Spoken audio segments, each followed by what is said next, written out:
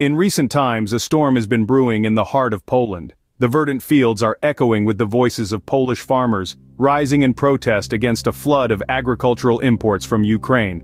Their outcry is a complex melody, a song of trade dynamics, standards disparity, and the struggle for survival. It's not a simple tune, but a symphony of concerns, layered and intertwined. The Polish farmers, guardians of the land, are grappling with a perceived imbalance in production standards. They toil under stringent regulations, while they believe their Ukrainian counterparts enjoy a more lenient set of rules. This, they feel, creates an uneven playing field, a game skewed against them. Add to that, fears of local markets being swamped by cheaper Ukrainian products, threatening their livelihoods. The crux of the matter is not just about import and export, it's about disparity, fairness, and survival of the local farming community. Polish farmers are fighting an uphill battle, they claim they're not playing on a level field. Picture this. On one side we have the Polish farmers, working tirelessly under stringent regulations, meeting high standards of food safety, environmental sustainability, and labor practices. This commitment to quality often comes with a higher price tag, elevating their production costs. On the other side of the border, Ukrainian producers are perceived to operate under more relaxed regulations. This leniency, Polish farmers allege, allows Ukrainian counterparts to produce cheaper goods, undercutting Polish prices. The disparity in rules and regulations creates what the Polish farmers see as an uneven playing field. It's like a tug of war where one side has an unfair advantage. It puts Polish farmers at a competitive disadvantage, trying to sell their goods in a market filled with cheaper alternatives. Then there's the potential ripple effect on local agricultural markets. Imagine a flood of cheaper Ukrainian products flowing into Poland. This could drive down prices domestically, leading to reduced incomes and profitability for local producers.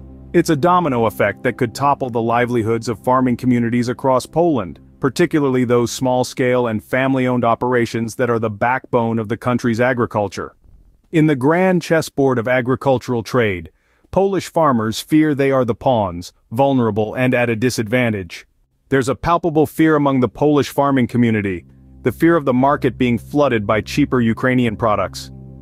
Let's delve deeper into this concern. Imagine your local grocery store, once brimming with homegrown apples, potatoes and wheat now stacked with similar products but with a Made in Ukraine tag. The scenario doesn't seem harmful at first glance, after all consumers would welcome a wider range of choices, right? But here's the catch. Ukrainian products, thanks to their lenient production regulations, can be priced lower. This pricing advantage could potentially tip the scale in favor of Ukrainian imports. And if this happens, the demand for locally grown Polish produce might take a hit. As a result, local producers could face a drop in their profits and incomes. This is the fear that's keeping Polish farmers awake at night.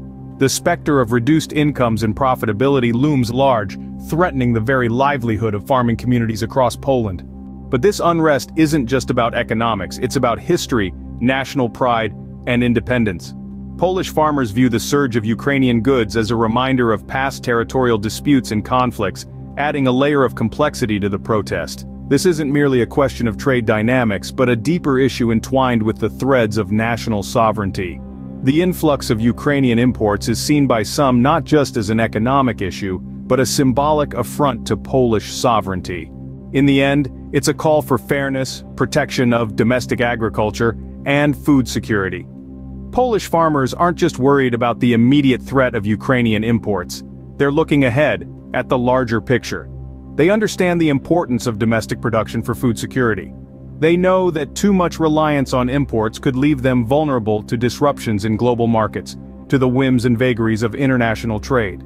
They're calling for trade on fair terms. They argue that it's not just about economic growth, but also about the well-being of local communities, the survival of family-owned farms, the preservation of a way of life.